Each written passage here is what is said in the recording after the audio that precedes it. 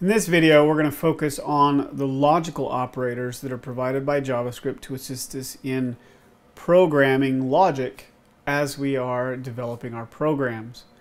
Now, these three operators I find we use all the time in complex logic and even in basic logic that we use in a daily on a daily basis in our programming.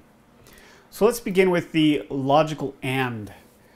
Now it sounds complex, it might look a little weird to you, but once you get the hang of it, it's really a useful operator in our programming.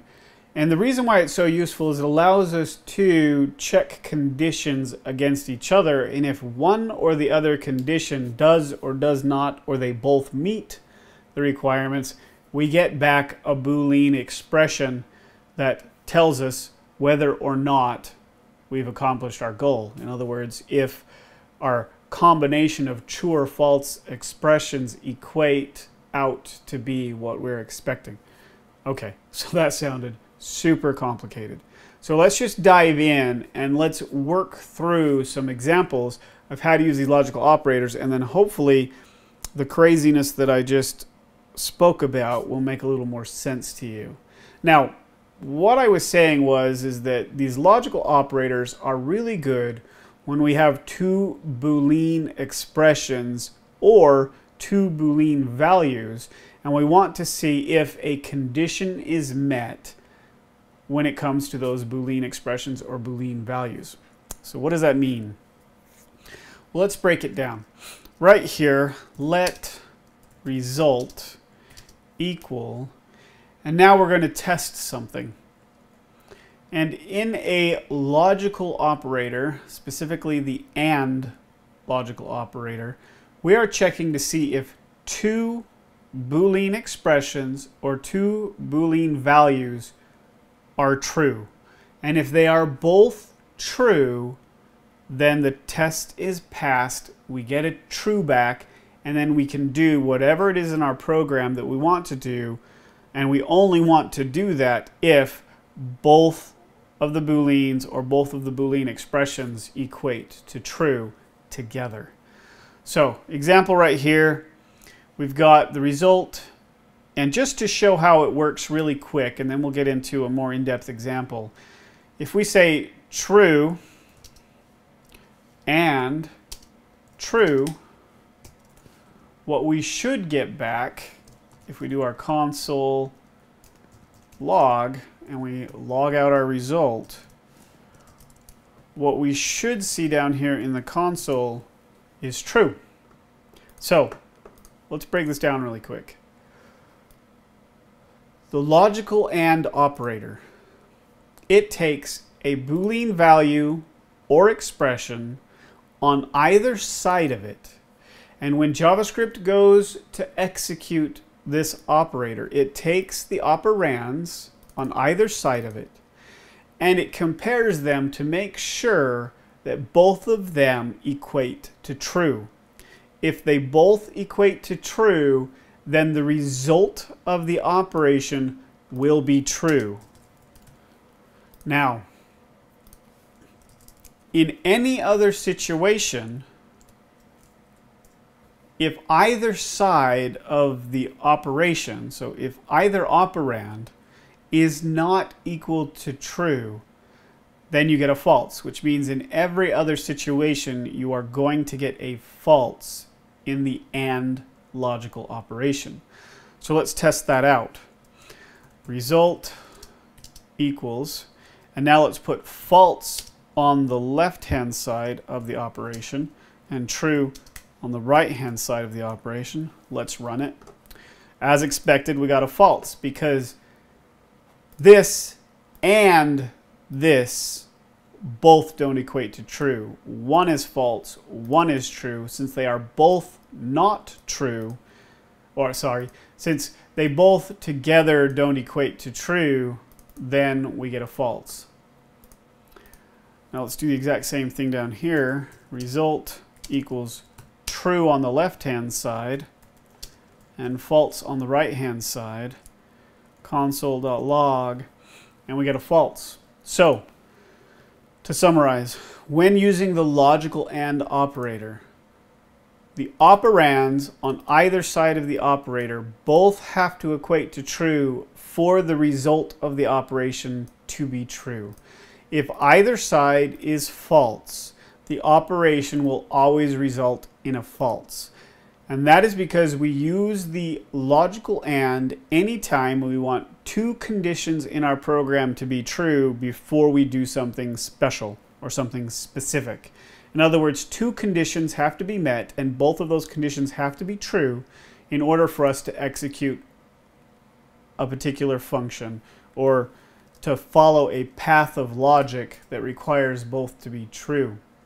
So let's use an example that makes a little more sense now that we know how the logical AND works.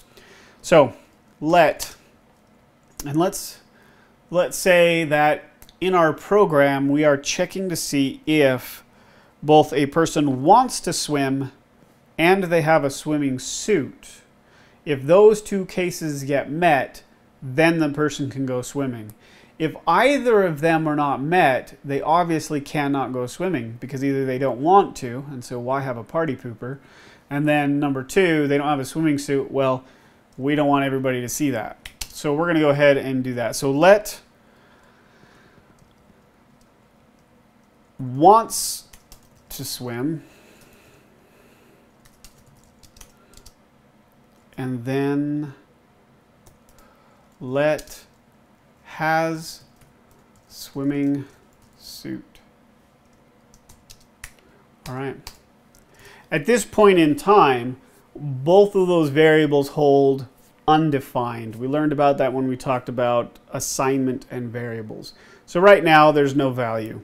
So at some point in our program, as we're executing, we make a call to a web service or we ask the user in a web form whether or not they want to swim and whether or not they have a swimming suit. And we get those answers back. And so at some point further on in the execution of our program, we get results to that. So wants to swim equals true, and then has swimming suit equals, uh, let's say they don't have a swimming suit, but they want to.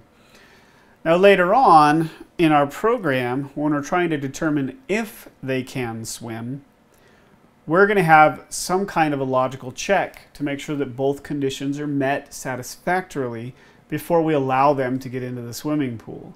So later on in our code, we would probably run into a situation where we are making a check to see if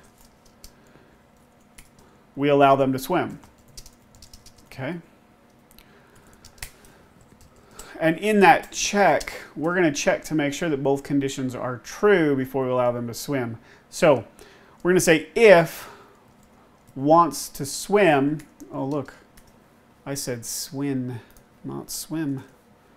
Wants to swim. All right. Wants to swim and has a swimming suit. Then we allow them to swim Otherwise, no swim for you.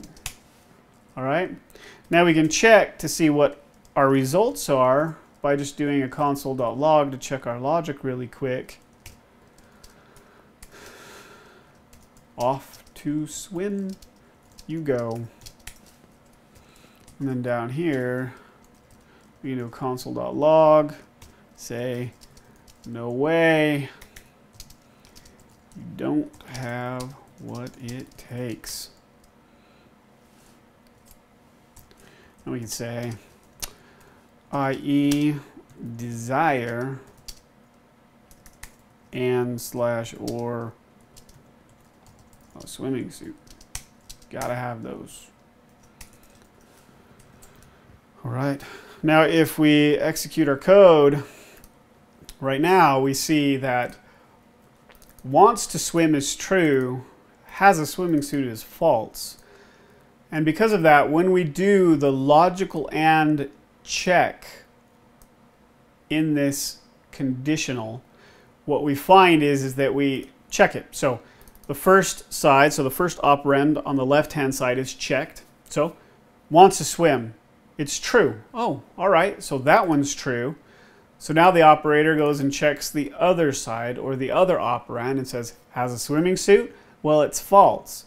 So one of those operate operands equated to false, and therefore both of them are not true. Therefore, the condition, this full condition, has not been met. Therefore, they cannot go swimming, and we end up with the result no way, you don't have what it takes.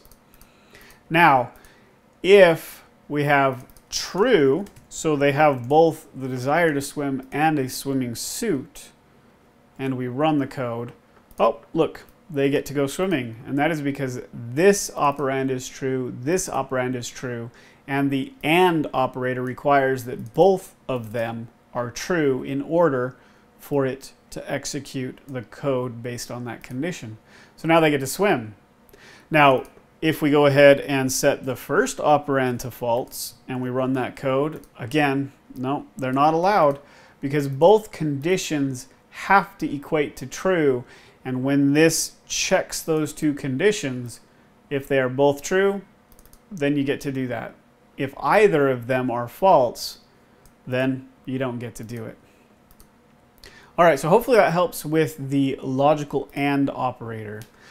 Now the logical operator, very similar to the AND operator in functionality. The real difference is, is that instead of requiring both operands to equate to true, only one of the two operands has to equate to true. So let's go ahead and come up with an example. Let's say that we're all trying to go to Comic-Con and there's really two requirements to go and if you fit one or the other, then you're good to go to Comic Con. So let has costume and let is on panel as expert. All right. And then again, later on in our program, we obtain that data probably from a web form or a web service and has costume ends up being true and is on panel is equal to false. Now the difference is, is that in the AND operator, we would have expected this to equate to a false because one of the expressions is false and one is true, and they both have to be true. In an OR, that is not the case only one has to equate to true. So we can say has costume or is on panel as expert. And if they are, then we can go ahead and do a console.log. Welcome to Comic Con. Oops. All right. Else console.log you are not cool enough. All right. Now, when we execute this code, here, let's go ahead and remove. Go ahead and comment out that code so that it's not interfering. And now we can do the checks. Let's run our code. Now we can see that at least one of the operands in the operation is equating to true, and we only require one too. So in this case, has costume equates to true. Now, because it's true, really, we don't have to check this other one. So a short circuit happens. And by short circuit, what that does is it stops JavaScript from checking the second condition. It kind of makes things a tiny, tiny bit faster because we're not checking both conditions to see if they're true. As long as one is true, we can execute this code. So it's one or the other or both will be successful, which means we'll get a true. And as long as one is true, it'll short circuit on that one if it's the first one. If it's not the first one, then it'll check both of them. And if the second one is true, then it'll go ahead and do it. So hopefully that makes sense. Short circuiting just means that if the first one is true because this requires only one of them to be true or both of them to be true. So one or the other or both, we're good if just the first one is true. No need to do the rest of it. So here we can see that. We'll change this one to false and false. We'll rerun that code. Not cool enough. We'll change this one to true. Run it. And welcome to Comic-Con. All right. So one or the other or both has to be true for the logical OR operator to return a true. Now the logical NOT operator, the logical NOT, all it does really, and if you can remember this, you'll find places where you can use this that aren't contrived in your programming. A lot of times it's when you have a condition that might be true, but you really only want to deal with the false and so you use a logical not. And I'll give you an example right now. So all the not operator really does is if we just console.log and we do a really simple example, if I say true and then we execute that code, you'll see I get true. If I put a not in front of true and I execute it, I will get a false.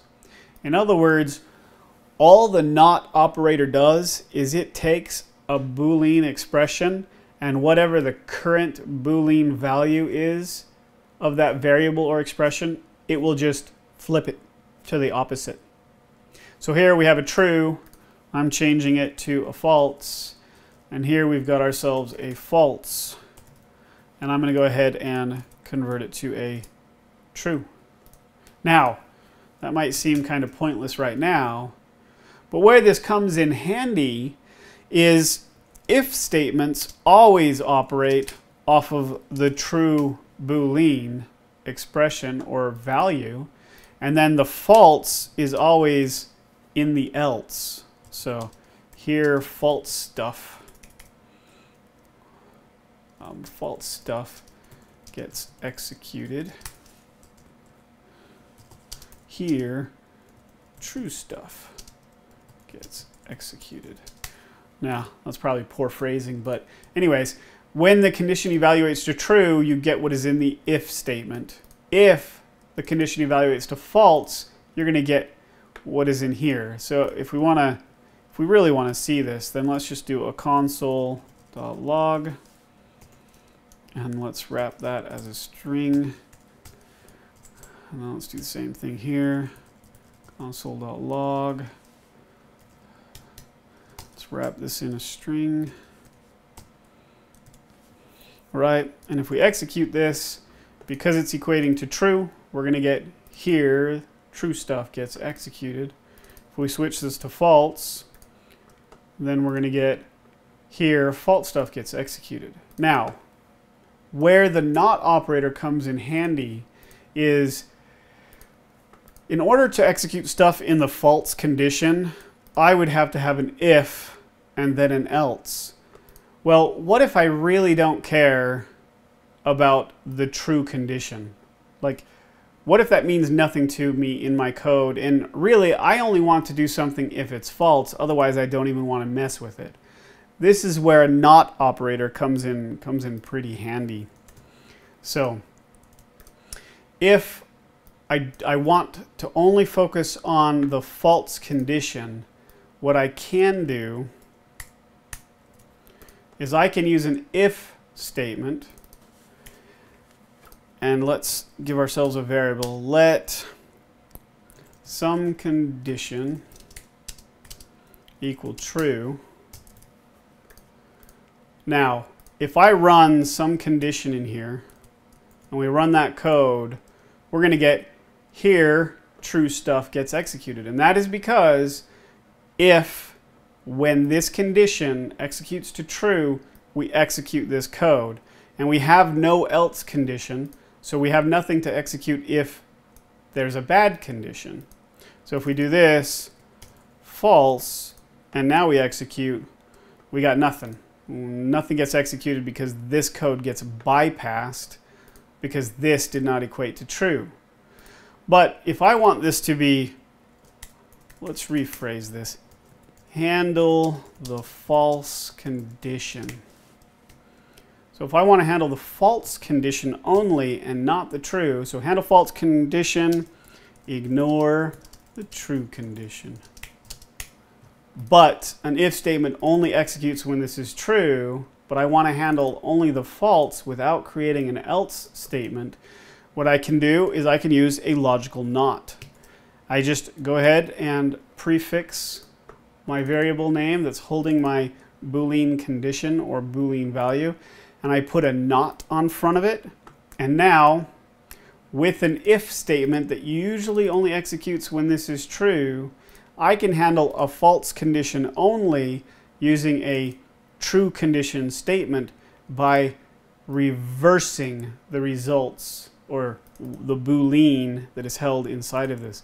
So now, instead of needing to have an if and an else and then leaving the if empty in order to get to the else for the false condition, I can now use an f, catch the false condition by making it true by using the not operator to reverse the Boolean value.